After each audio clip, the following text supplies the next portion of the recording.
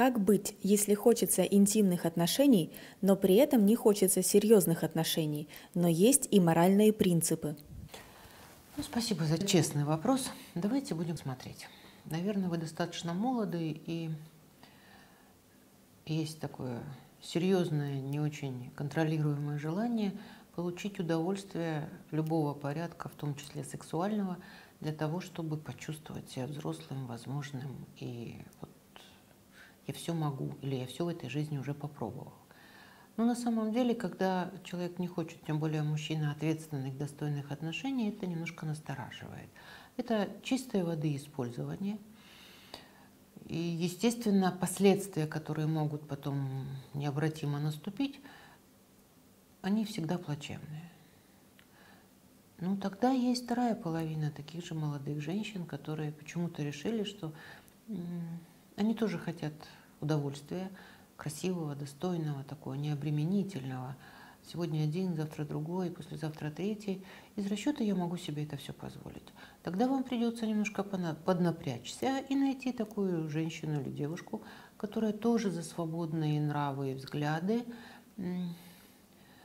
без каких-то морально-этических ценностей и просто вот как тот йогурт. Мир подождет, я хочу много сразу и всего. Единственное, что, как любой наркотик, да, вот это же тоже наркотическая такая зависимость.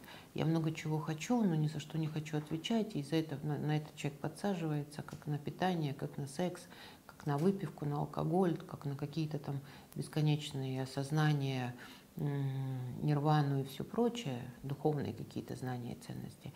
В принципе, это удовольствие просто разного порядка.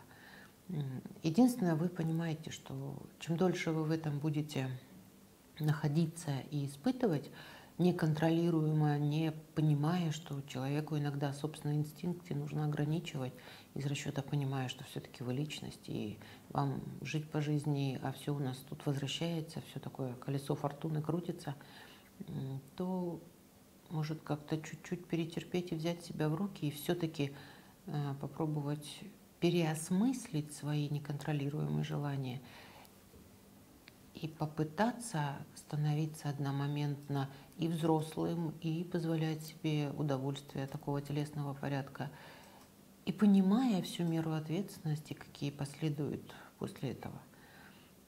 Вот человеческая сущность, она должна быть гармонична, где нужно соединить телесные удовольствия, душевный уровень эмоционального комфорта, чтобы не истерить или не падать, и одномоментно быть человеком, духовно развивающимся существом.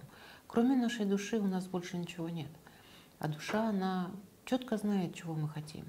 А мы так часто привыкли себя обманывать, подменяя, заменяя, требуя что-то от себя, что-то от других людей.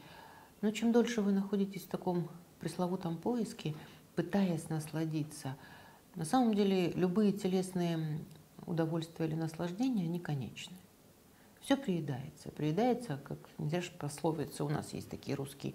Борщ приелся, приелся хочется супа. Да? И бесконечная смена партнеров, и бесконечное желание еще, еще как-то, еще как-то все это разнообразить приводит всегда ну, не к очень хорошим занятиям.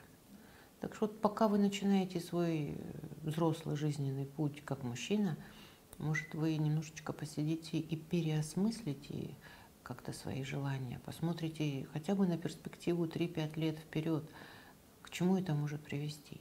Потому что не думая, а только желая, требуя, обосновывая и подстегивая себя как кнутом к тому, что я могу, я хочу, мне надо, это всегда эмоционально пагубно, такое есть понимание выгорания.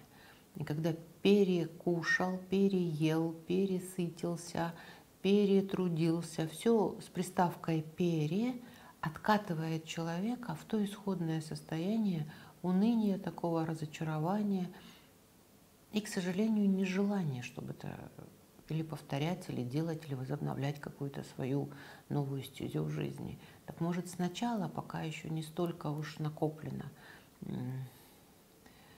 таким непосильным трудом, может потихоньку, потихоньку, но очень достойно – идти к тому, чтобы все удовольствия всех, всех трех уровней, они соответствовали ну, такому красивому названию «жизненный путь». Чем спокойнее и ровнее, ровнее человек пытается осмыслить свою жизнь и понимает, что на сегодня не заканчивается, и после любого соития происходит, нужно вставать и друг другу как-то смотреть в глаза и как-то выкручиваться, может, все-таки не стоит. Вы просто подумайте. Из расчета того, любое желание должно человеком быть обосновано. Обосновано, понятное и четкое видение последствий, которые будут наступать. А все остальное, поверьте, есть запрос, есть реализация. Но вот каким способом вы это будете реализовывать, вот тут уже интересная история. Это разрешительная такая моральная база самому себе. Попробуйте. Будет интересно, пишите, будем разбираться.